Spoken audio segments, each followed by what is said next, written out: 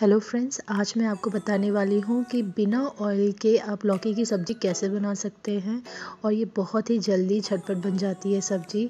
तो आइए देखते हैं कि हम इस सब्ज़ी को किस तरीके से बना सकते हैं अपने घर में। तो फ्रेंड्स मैंने ये लौकी ली है और इनको मैं अब छोटे छोटे टुकड़ों में काटूँगी और ये बहुत महीन टुकड़े होने चाहिए, ज़्यादा मोटे नहीं होने चाहिए। तभी सब्ज़ी आपकी अच्छी सी गलेगी और खाने में भी टेस्टी रहेगी। तो देखिए, ये इस तरीके से आपको चॉप करना है। तो फ्रेंड्स आप देख सकते हैं, ये लौकी हैं, जिनको मैंने 300 ग्राम लिया है और ये थोड़ा सा ज़ीरा लिया है चुटकी भर और हरी मिर्च ली है, जिनको मैंने छोटे छोटे पीस में कट किया है।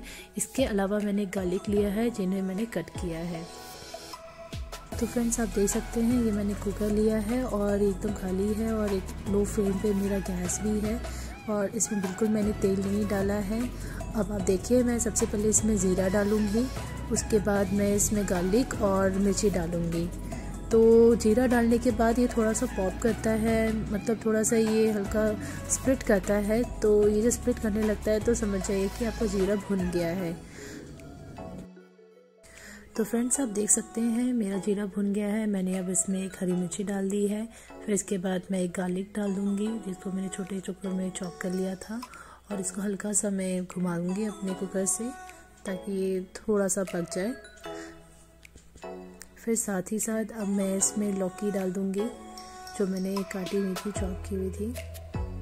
ये 300 ग्राम की लौकी है। तो इसमें बिल्कुल पानी नहीं पड़ेगा, ये बिल्कुल ऐसे ही रहेगा। और फिर आप इसको थोड़ा घुमा के, अब इसमें मैंने नमक इसमें डाल दिया है। और ये सेंधा नमक है, बस एक स्पून मैंने डाला है हम लोग के टेस्ट के अकॉर्डिंगली आप अपने अकॉर्डिंगली नमक डाल सकते हैं। तो फ्रेंड्स अब मैं इसको थोड़ा चलाकर, अब मैं इसमें एक चुटकी में हल्दी डालूँगी, क्योंकि मुझे लौकी सब्ज़ी में हल्की हल्दी का कलर पसंद आता है। और अब इसको मैं थोड़ा घुमा के फिर मैं इसकी लिड बंद करके और दो सीटी आने तक मैं इसका इंतज़ार करूँगी। तो देखिए, मैं अभी इसका बंद कर रही हूँ। अब दो सीटी आ चुकी है और अब मैं इसका लिड ओपन करने वाली हूँ और देखने चाहती हूँ कि इसमें कैसा अभी लौकी सब्ज़ी दिख रही है। फ़िलहाल लौकी की सब्ज़ी गल गई है थोड़ा सा पानी इसमें छोड़ा है। तो अभी इस पानी को हम थोड़ा सा और पका लेंगे ओपन करके। अभी हमें इसकी लिड नहीं बंद करनी है, हम इसको ऐसे ही पका लेंगे।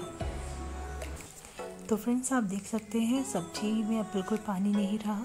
और ये काफ़ी सूख गई है और अब हम इसे अपने खाने में यूज़ कर सकते हैं।